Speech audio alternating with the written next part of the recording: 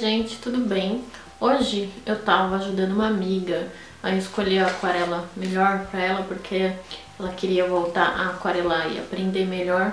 Aí eu pensei, Caramba, meu, eu nunca fiz um vídeo sobre isso, que é sobre como escolher a sua melhor aquarela. E tem um certo jeito que eu aprendi com o tempo que faz todo sentido. E eu vou passar algumas dicas pra vocês. Eu espero que isso possa ajudá-los e possa orientar melhor, porque escolher a melhor aquarela é muito difícil e a gente se perde muito. Tem vários tipos de aquarela com vários nomes e às vezes as próprias lojas não sabem botar a especificação certa para cada aquarela. Quando for pesquisar sobre aquarela, você tem que pensar o seguinte: eu não recomendo que você vá pelo preço direto, porque tem muitas, muitas aquarelas que são escolares que te enganam muito pelo preço. Isso porque boa parte delas são gringas e o preço dela, tipo, parece que é, nossa, é muito caro, deve ser muito boa. Não, se engane por isso. Já aconteceu comigo com a Koinor. A Koinor, ela é escolar e ela tem como pigmento anilina, por isso que ela é bem vibrante, molhada ela é linda, mas quando seca chapa tudo e vira uma meleca só. Isso é uma característica de uma escolar.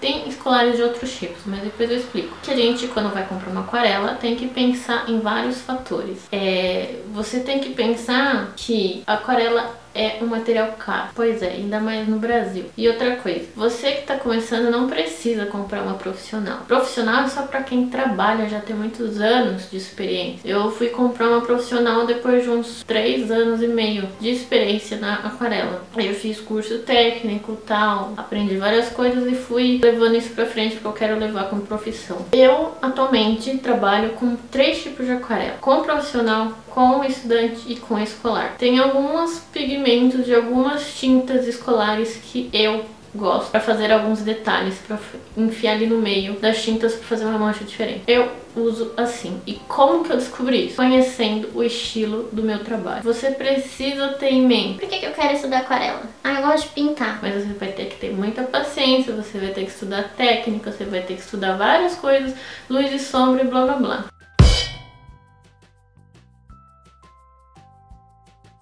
Se você só quer brincar, você só quer colorir, porque você tem preguiça de lápis de cor, que nem eu, e você quer, tipo, espalhar logo a tinta, só pra isso, compre uma escolar. Você vai estar tá se satisfazendo. Eu não recomendo você comprar uma escolar, porque ela é mais barata, é mais em conta.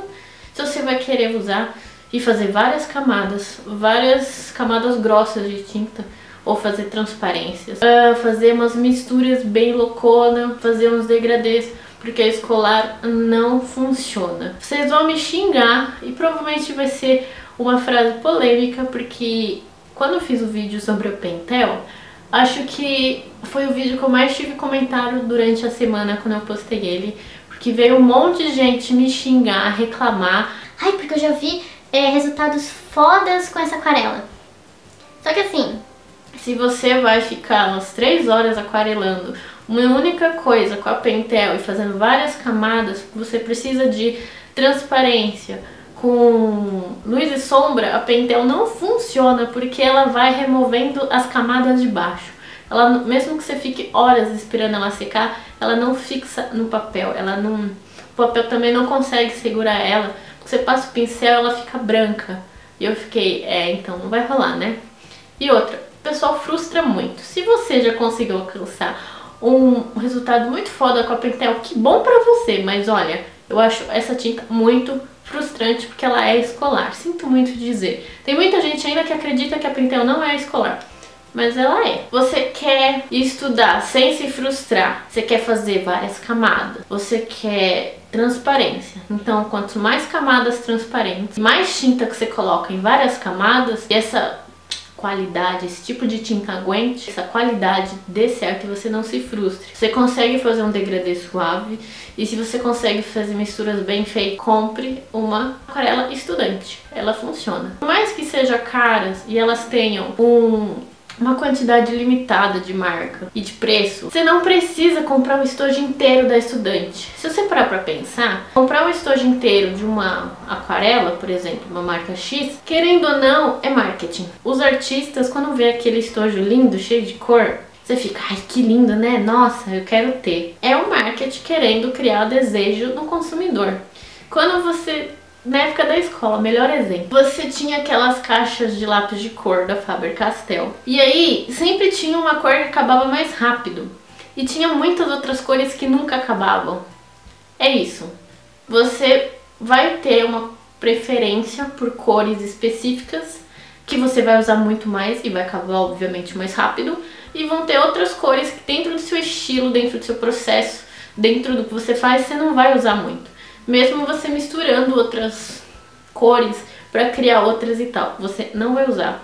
Então assim, se quer estudar, o negócio tá caro, não cabe no seu bolso, não tem problema. Vamos comprar uma estudante, vamos pegar só as cores primárias, magenta, você gostou muito da estudante, você quer muito continuar na área, você quer muito estudar, se profissionalizar, você quer levar isso como trabalho, você quer qualidade, você quer conhecer outros pigmentos, você quer conhecer um pouco do melhor, ver se se encaixa no seu estilo, no seu trabalho e tal. E dentro disso, as qualidades que a gente já falou na estudante. Mistura bem, tem uma baita transparência, tem um degradê suave, mistura bem, tem uma expansão maravilhosa, vai para profissional. As profissionais são bem caras. Sim, mas olha, vale cada centavo mesmo. Às vezes, compensa mais você pedir para alguém que vai viajar para gringa comprar para você uma tinta profissional com estojo cheio de tinta, de pastilha, de bisnaga na gringa, porque aqui às vezes no Brasil fica muito caro. Por exemplo, quando eu adquiri o meu estojo da Lucas, que é profissional. Na época, que eu acho que foi uns dois anos atrás, talvez em 2015, eu paguei 400 reais no estojo. Tinha acho que 16, 14 cores. Era uma coisa assim, eu não lembro mais. Eu levei meses para juntar dinheiro e conseguir comprar. Não é só, ah, você, tá, você é rica, você consegue comprar todas as cores do que, gente? Vamos ser realistas e sinceros, né? A gente, quando quer realmente alguma coisa, a gente vai lá e economiza o tantinho que a gente consegue e usa o resto do dinheiro para pagar as contas, não é mesmo? Se você não tem condições para comprar um profissional, continue no estudante e vai se aprimorando na técnica.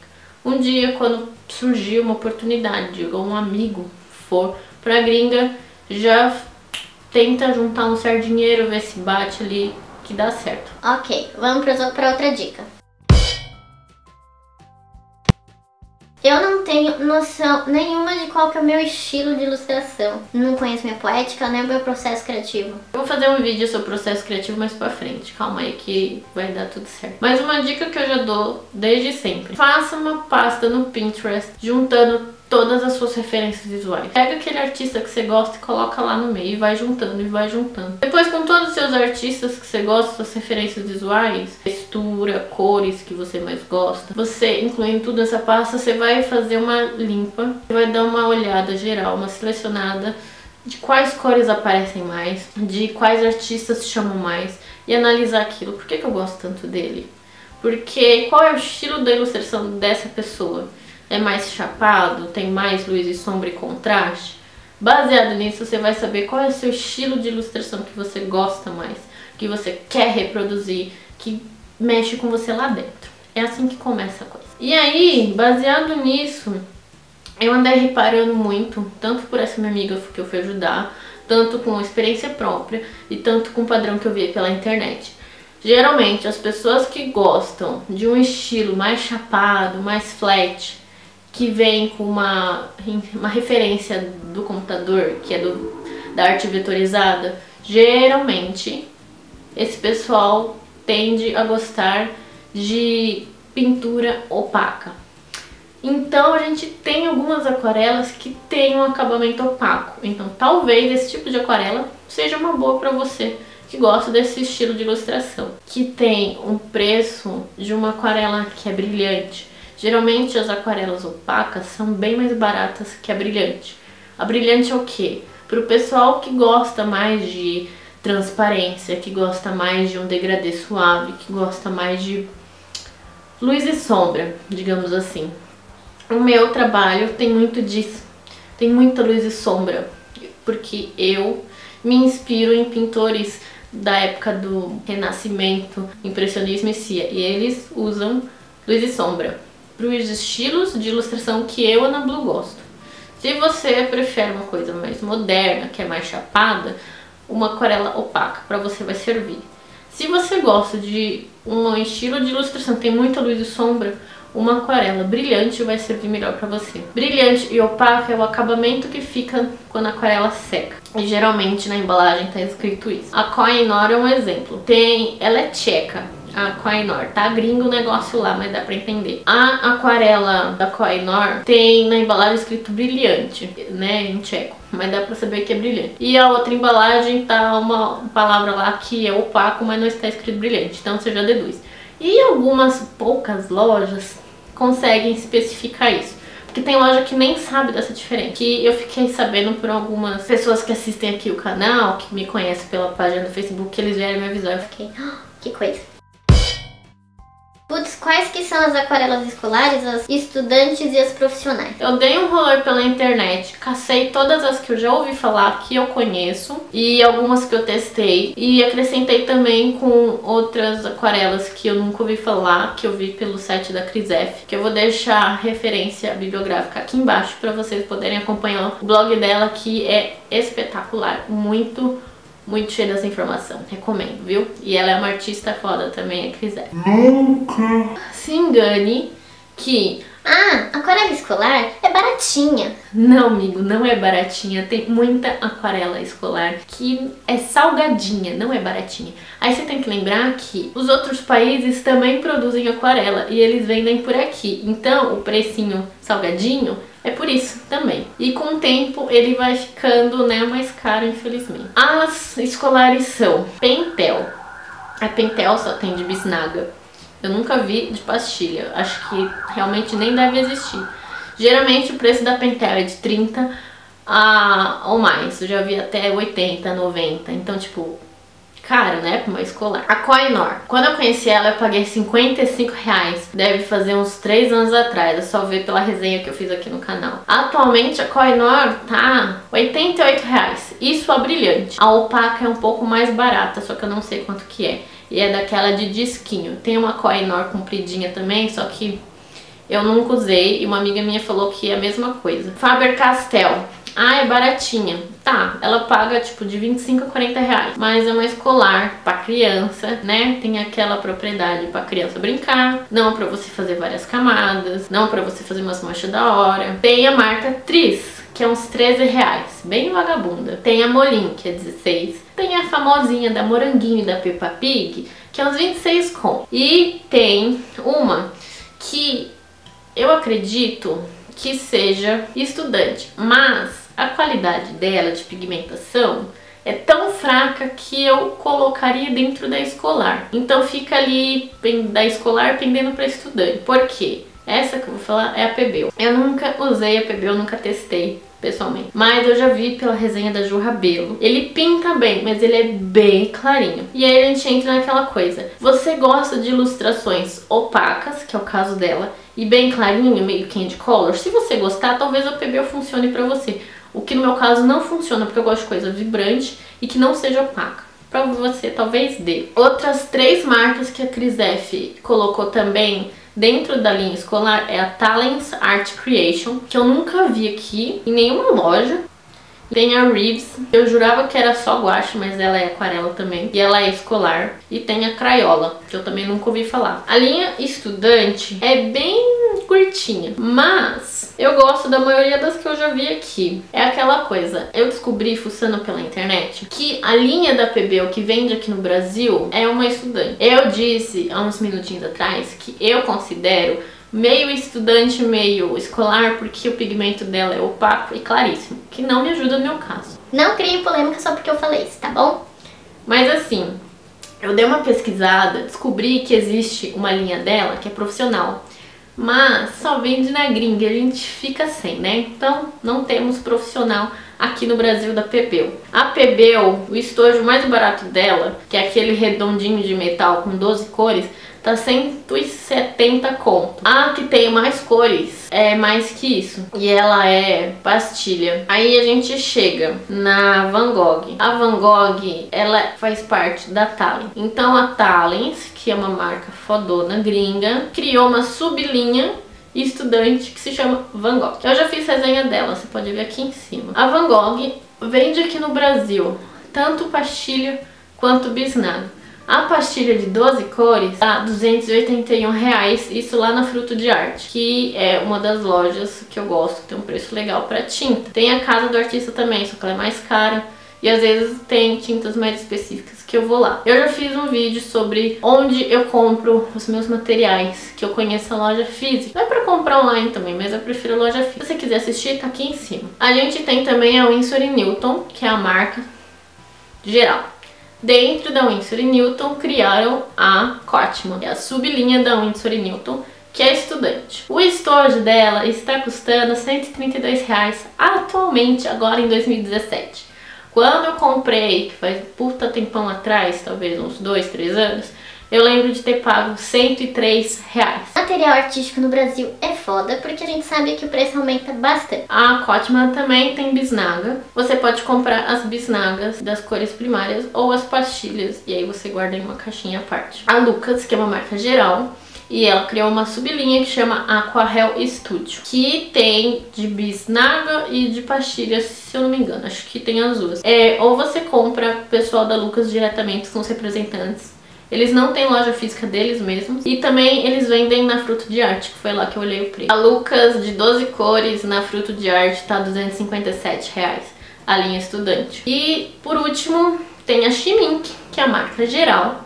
E dentro dessa marca geral tem a sublinha Academy, que é a linha estudante. Porém, contudo, todavia, infelizmente eu não achei nenhum site vendendo essa aquarela só na gringa. Ok, aquarela profissional, vocês vão se assustar com os precinhos salgados.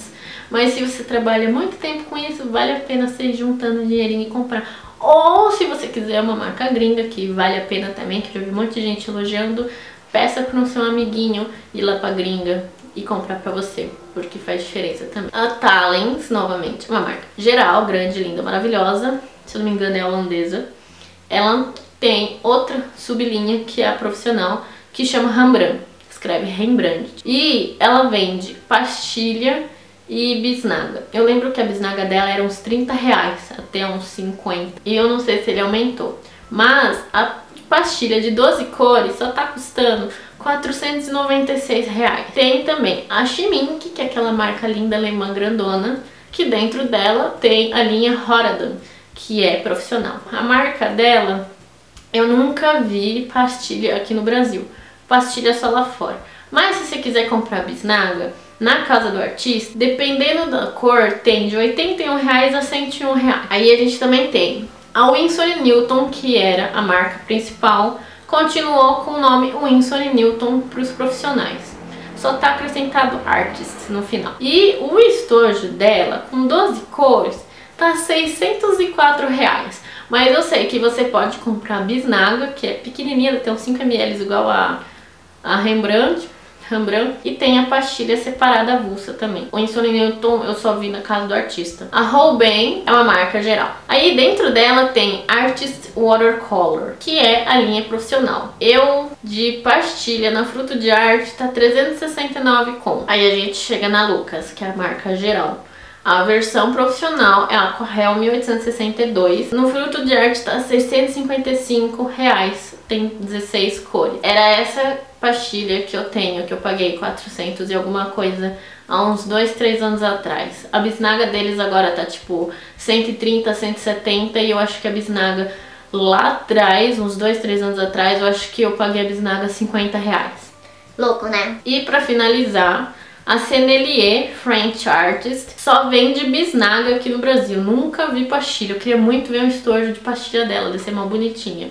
Olha o marketing aí, atraindo os nossos olhinhos criativos. A bisnaga, o preço dela vai de 50 a 132 reais na casa do artista. E a Crisef acrescentou duas marcas que eu nunca tinha ouvido falar. Dollar Roney Artist, nunca ouvi falar. Deve ser só na gringa mesmo, por isso que eu nunca ouvi falar. E a Pebel, que eu tinha falado, que é uma profissional que só tem lá na gringa. Só que essa PBL tem um nome totalmente diferente. PBL Fragonard Extra Fine Art. A linha da PBL que tem aqui no Brasil não é extra, é só fine.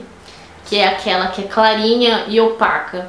Que tecnicamente teria dentro da linha estudante, mas que pra mim tá no escolar com a estudante tá ali meio a meio, porque eu não gosto. Eu acho que esse vídeo ficou levemente longo, mas é um vídeo muito informativo. Espero que possa ajudar vocês para poder escolher aquarela, porque eu sei que não é fácil, tanto pelo preço e pela quantidade de aquarela que tem por aí, e muitos sites às vezes não sabem nomenclaturar direito, e às vezes você compra uma Koinor que às vezes você queria brilhante veio fosca, ou uma Pentel, ou uma BB, ou sei lá o que. Todas as tintas que eu já fiz resenha tá aqui no canal, são as que eu tenho ou tive, e eu não pretendo comprar outras de outras marcas inferiores, porque eu já sei as que eu gosto mais, tanto estudante, que eu prefiro a Van Gogh, tanto quanto profissional, que eu gosto da Lucas, mas eu tô de olho na Rembrandt, que a Mariana Canin já falou que é boa, e aquarela escolar eu tô passando longe. No máximo só uso uma Koinor para uns detalhezinhos, para uma expansão de cores que eu preciso ali, porque influencia o meu. Enfim, se você não é inscrito no canal, se inscreve aí, tem muita resenha de aquarela, tem um Veda que eu fiz também. Curte aí, compartilha e é isso. Tchau, tchau.